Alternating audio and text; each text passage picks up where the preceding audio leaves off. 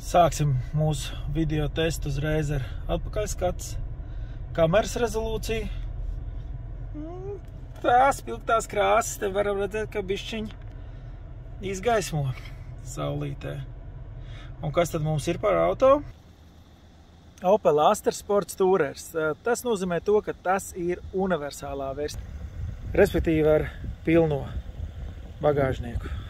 Un tas nozīmē, ka var ielikt vairāk mantas vairāk vietas tieši nodara, ka tu, piemēram, brauc uz Līgo. Jo man tieši sanāca uz Līgo izbraukt ar parasto astru, kas ir hatchbacks, kur tāpat bija ap 460 kaut kas litriem bagāžnieks.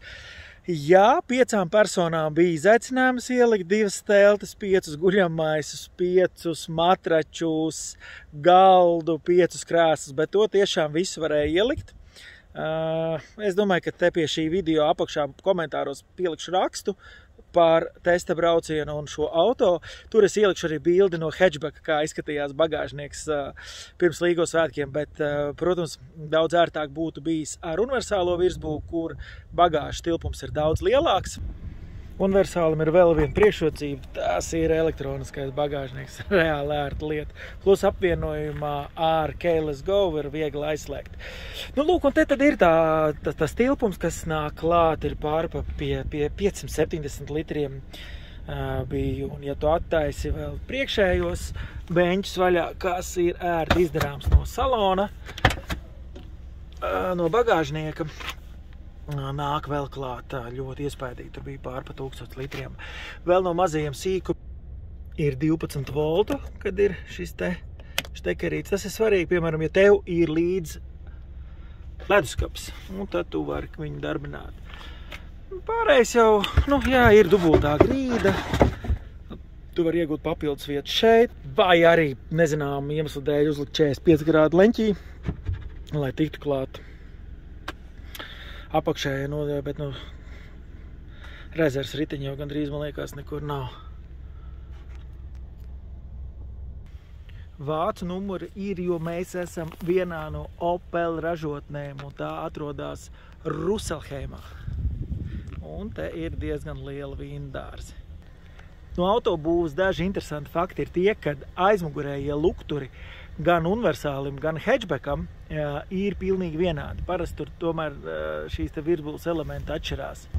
Kā arī durvju šī metāliskā daļa ir hatchbackam un universālim aizmugurējām durvīm vienāda. Tā kā visa autobūva Eiropā parās pa CO2, ja, no tā ir atkarīgi visi nodokļi un pats galvenais sod, kas jāmaksā Eiropas Savienībai, ietiek pārteikt, pārsniegta noteiktā norma. Te, protams, mēs redzam, kad aiziet uz leju, kas it kā zaudē, ne, nu, arī reāli zaudē tilpumu, taču tas uzlabo ļoti uh, gaisa pretestības koeficientu, kuru mēra ar CD tādiem skaitļiem, kas ir šī gadījumā zem 0,3, 0,26. Dizains jau ir gaumas jautājums, kādam patīk, kādam nē, man jau patīk tikai kaut vai tas fakts, ka viņš ir tāds futuristisks. Kas vēl interesanti, tā kā Opels ir PSA grupā vai vis, lielā grupa vispār ir Salantas, bet nu, būtībā Peugeot tur diezgan daudz ko diktē. Tas ir uz jaunās uh, multimodulārās platformas, respektīvi, lai samazinātu izmaksas autoražotāji, taisa vienotu platformu, kas ir uh, vienota gan iekšēji viena zīmolam, vairākiem modeļiem, gan starp dažādiem zīmoļiem. Piemēram, šī platforma ir kopā ar Peugeot 308. Vairāk ekrāni, šeit ir centrālais. Navigācijas var pieslēgt pie Google Auto, kas tagad ir diezgan daudziem. Te nedaudz tā kā ir visi tie, tie momenti tādi spīdīgi, bet nu, nevar to tik viegli kaut kā parādīt kamerā. Uh, bet ir ērti, ir ērti. Ir iespējas arī adaptēt ekrāns, pat ieprogrammēt un tad izējot no vēlmēm izlikt to, ko vajag, var navigācija lielāka un tā. Vienīgais nevar uzlikt. Oh! Jāgriežas pa labi man ir. Nevar uzlikt apaļos rimbuļus ierastos, teiksim, ja, bet, nu, var adaptēt, var navigāciju uzlikt un, teiksim, ir arī versijas, kuriem ir diezgan labi strādājošs head-up displejs. Sākumā, kas likās neparasti, un arī vēl tagad pat ir šī otrā līnija. Protams, funkcionāli ļoti labi man patīk, kad ir šīs pogas nodublētas arī kā nu, fiziski pieejams. Opels, ap citu, ar, Opels un Porsche bija ražotāji, kas visilgāk turēja video konsoli ar visvairāk pogām, kad daudz jau aizgāja tīri uz, um, uz skārienu jūtīgajiem ekrāniem. Uh, šī, šeit ir galvenās funkcijas, manuprāt, kas ir kas ir labi, uh, kad ir ērti var uzgriezt, teiksim, īpaši tev, teiksim, jāmaina ir kaut kas ar klimata kontroli, tad tu var ātri to mm, pielabot. Tomēr patīkam, ka var dzirdēt motoru rūkoņu un uh, nonākam nedaudz pie tehniskajiem datiem. Ir tas labi, ka ir pieejams gan dīzels, gan benzīns, gan arī ir plug-in hibrīds pieejams jaunajai Astra. Fonā redzamajai Astrai man ir uh, 1,2 benzīna dzinējs ar 130 zirgspēkiem. Patēriņš esot, nu, pēc tā VLTP vidējā, ko viņi saka, ir ap 5,9, 5,7 litri. No 0 līdz 100 9,9 sekundes. Taču gan šis auto, un pirms tam es braucu ar hibrīdu, hibrīds, plug-in hibrīds, tātad spraudņa hibrīds būtu Latvijas, bija jaudīgāks. Tas bija 1.6, jau ar 4 cilindriem, zirga spēka arī par 50 vairāk, proti 180 zirga spēki.